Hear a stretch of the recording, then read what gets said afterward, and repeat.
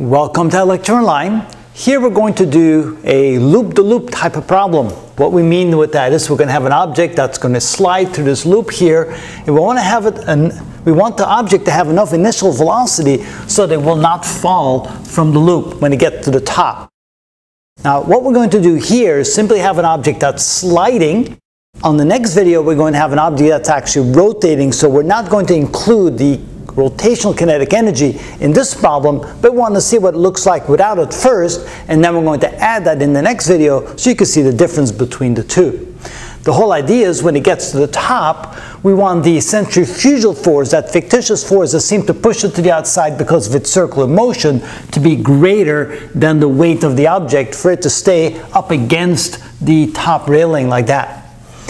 So what that means is when we solve that, what we want to say here is that the centrifugal force must be greater than or equal to the weight of the object.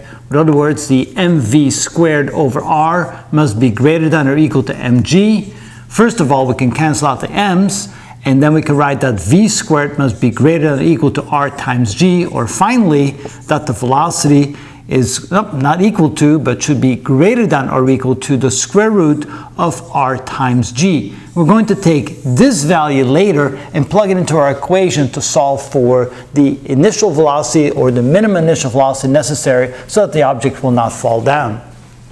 The next thing we're going to do is equate the energy in the initial state, which is down here, to the energy at the final state, which is at the top of the loop right there.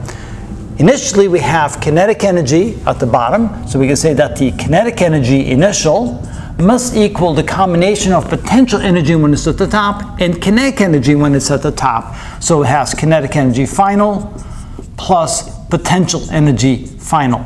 Notice that the radius of the loop is r. That means that the height of the loop will be 2 times the radius, or 2r.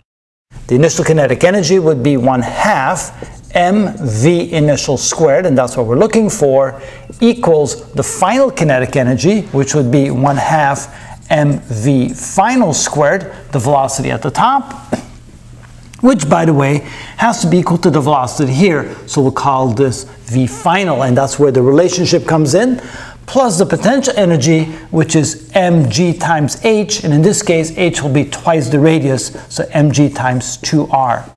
And now we're looking for V initial in terms of the minimum V final requirement. That means, first of all, again, we can cancel out all the m's, and we can multiply both sides by 2, which gives us V initial squared equals V final squared plus 2 times this, which is 4G times R. Finally, we're going to supply or substitute into VF what VF is equal to. Since VF is equal to the square root of that, VF squared is equal to R times G. So V initial squared is equal to R times G plus 4GR. Of course, R times G is the same as G times R. In other words, V initial squared must be equal to at least 5G times R.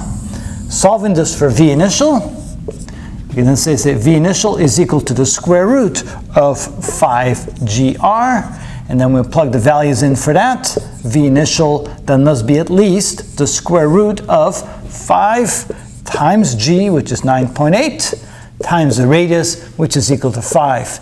Now let's see if I have a calculator here somewhere. Sure do.